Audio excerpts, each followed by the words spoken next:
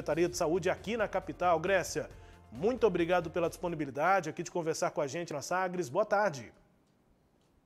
Boa tarde, boa tarde a todos.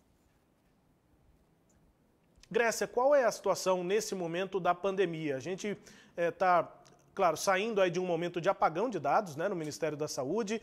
Aqui em Goiânia, como a gente pode interpretar esse momento? É ainda de evolução de casos novos, mas de é, regressão, né, números cada vez mais baixos de mortes, né, de óbitos, Grécia?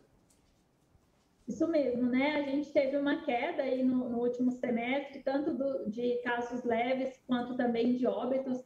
Essa queda dos óbitos e internações, ela continua sustentada. Contudo, é, a gente está percebendo nessas duas últimas semanas um aumento da positividade é, nas testagens para Covid, né? A gente tinha um momento aí que a gente chegou a ter uma positividade nessas testagens ampliadas de 3 a 5%, e agora estamos aí novamente com testagens variando entre 12% e 17% aqui no município de Goiânia. Então, nessas duas últimas semanas, aumentou muito o número de casos positivos, é, a positividade nas testagens subiu bastante. É, e como é que está funcionando o trabalho de testagem, Grécia? Esse é um trabalho contínuo, né? A prefeitura está levando testes grátis, RT-PCR, para várias regiões da cidade. Como é que está funcionando e a importância exatamente para que a prefeitura mantenha uma noção assim precisa, né, minimamente precisa sobre o momento da pandemia, Grécia? Isso, além da testagem nas unidades básicas de saúde, unidades de urgência e emergência, nós também temos a testagem ampliada que ocorre é, ao longo aí da semana, fora das unidades de saúde, que é a testagem nas tendas e no modelo drive-thru. Hoje a gente está com uma testagem para pedestres é, no estacionamento do Cais Bairro Goiá, né? Então, ali é para todas as pessoas que procurarem a testagem. É, não há necessidade de prescrição médica para o teste nesse, de, de modalidade.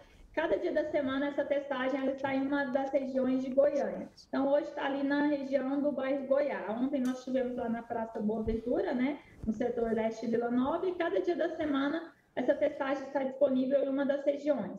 E aumentou também o número de pessoas para fazer o teste, né? A gente tinha aí uma média de 700, 800 pessoas por dia nessas testagens e é, nessas duas últimas semanas a gente teve testagens aí com um quantitativo de 1.800 pessoas. Então está variando aí de 1.500 a 1.800 pessoas testadas diariamente nessas modalidades. Kleber Ferreira também com a gente, Flu, é, Grécia, para essa entrevista. A Grécia Pessoni, que é diretora de Vigilância Epidemiológica sobre a pandemia de Covid-19. Kleber. Abraço, Rubens. Boa tarde para você, aos colegas de trabalho, aqueles que estão ligados com a gente. Uma boa tarde à Grécia. É bom ouvi-la outra vez. Grécia, essa, esse aumento no número de testagem positiva, creio que já fosse esperado em função dos festejos de final de ano. Ou estou errado? Sim, é, isso ocorreu também o ano passado, né, Kleber? É, onde a gente percebe que com a maior movimentação das pessoas, de fato, aumenta sim a transmissibilidade, mas pode ser também por conta da introdução da nova variante aqui no município. Então, como hoje a gente já tem confirmação da circulação da variante Ômicron, sempre que introduz uma nova variante, aumenta sim a positividade mas acredito também que seja mais em virtude é, da, das festas de final de ano, né, que não começou aí no Natal, é, cerca de 15 dias antes, né, muitas pessoas já fazem as confraternizações do serviço, das escolas, é, são vários encontros, aumenta o número é, de compras, de saída de casa para fazer compra no comércio, e aí usar praça de alimentação fica sem máscara. Então, é uma série de eventos que não se restringe só ao dia do Natal e ao dia do Ano Novo, né? Então, as festas de fim de ano, ela começa ali 15 dias antes do Natal e vai até depois do Réveillon. Sem falar que agora a gente também está no período de férias é, escolares, em que muitas pessoas aproveitam, fazem viagem, né? Nós estamos fazendo testagens também no aeroporto de Goiânia, nós percebemos também um aumento da positividade é, a, a, das pessoas que chegam e saem para viajar. A gente então pode dizer o seguinte, que está dentro, claro, dentro do quadro, do novo normal, a gente pode dizer que o quadro está sob controle, nada de desespero. Bom, desespero não, mas exige sim muita atenção e vigilância nesse momento, né? O que eu posso dizer é que a gente voltou a ter uma preocupação maior. Então, assim, não que a gente é, tivesse deixado de preocupar com a Covid, né? Isso, uhum. Não chegamos a esse momento. Mas, assim, a gente estava caminhando para uma situação de mais normalidade, mas hoje, para nós, da vigilância em saúde, a situação ela volta a ser de alerta novamente. Então, a gente intensificou nossas investigações né, nos abrigos, né, que estão funcionando aí no período de férias, para fazer uma vigilância, né, mas principalmente estamos muito preocupados com as questões dos abrigos, fazendo novas recomendações para esse público e fazendo a vigilância aí dos casos positivos para a Omicron. É... Bom, eu tenho mais duas colocações para vocês, serei bem rápido. A primeira delas, vem aí o carnaval, qual é a preocupação? A preocupação é bem a mesma das festas de finais de ano, né? Até porque no carnaval o uso de bebida alcoólica ele acaba sendo até maior, né? Isso faz com que as pessoas é, deixem de utilizar a máscara, não só pelo ato de beber ali que é possível com a máscara, né?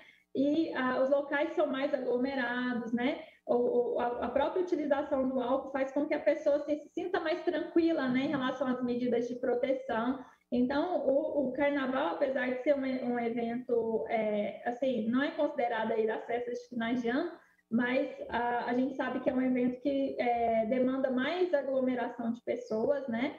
E que as pessoas praticamente não, não, não usam máscara em virtude aí da ingestão de bebida alcoólica de forma até mais frequente torcer para que as pessoas tenham juízo e que saibam que a vida é mais importante que três dias de folia. Segunda coisa, é, como é que está o índice de retorno para a vacinação de segunda dose, terceira dose, é, e como está também a, a mobilização para sensibilizar aqueles que ainda acreditam que a vacina não seja um bem, embora os números mostrem exatamente o contrário.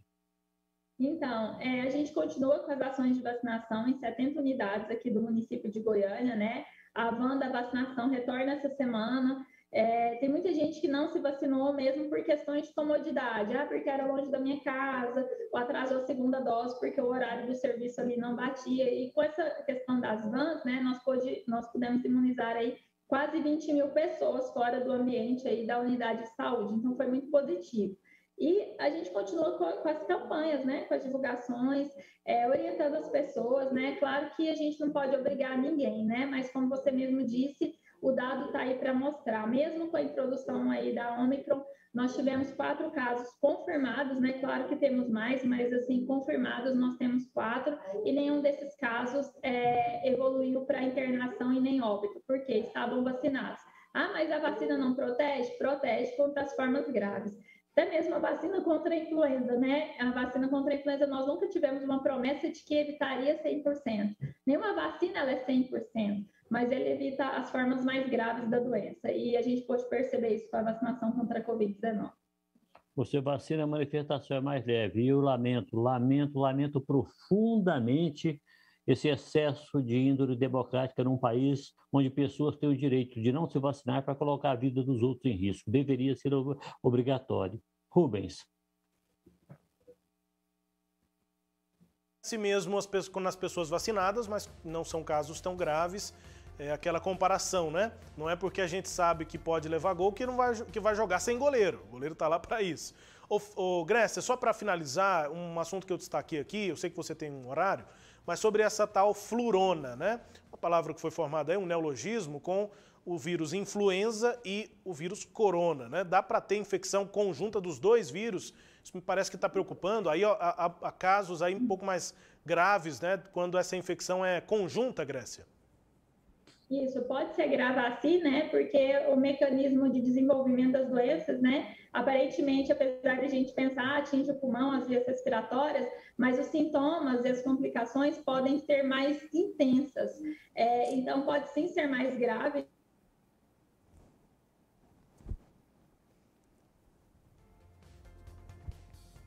Para fins de vigilância, para fins de pesquisa. Porque, por exemplo, o paciente vai na unidade, ele faz o teste para Covid dá positivo, não tem por que a gente ir lá e testar também para influenza, né? Mas para fins de pesquisa, alguns pesquisadores acabam pegando essas amostras e testando também.